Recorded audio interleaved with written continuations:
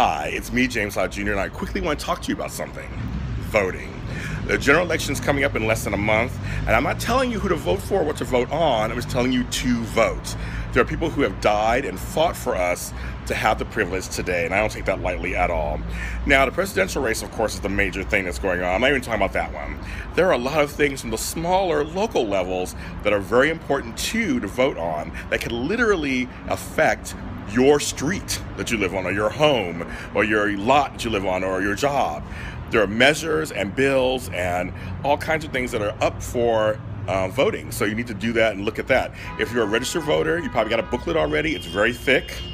But go ahead and look at it and see what's going on. It's important to see who the commissioners are and people on local levels who are going to be in your area that could possibly change the way you live. So please look at them. There's laws that are coming up in place. Some of them need to be voted down or some need to be voted in. You need to look at that and vote voting is such an important thing, an important part of our American dream here. Uh, there are many countries you can't vote and there's no democracy. I think it's very important. Again, I'm not going to tell you how to vote for for president. I know who I'm not voting for for president. but just in general, just vote. I'm James Lott Jr., and I'll see you at the polling place.